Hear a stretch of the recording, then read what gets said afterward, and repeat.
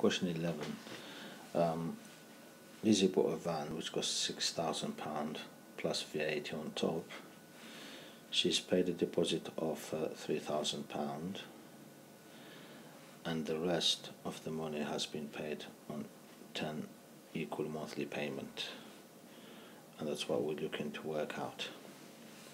First of all, the, the total cost of the van is the 6000 plus VAT. The VAT is 17.5% of £6,000. So I need to work out 17.5% of 6,000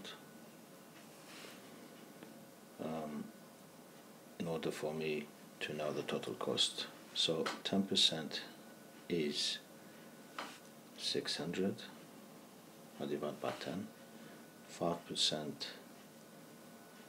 is a half the 600 pound half of 10% which is 300 and 2.5%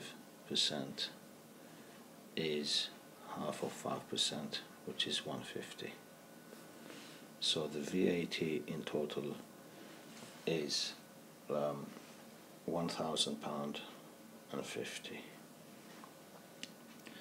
Now the total cost of the van is the six thousand pound plus the VAT which is thousand fifty.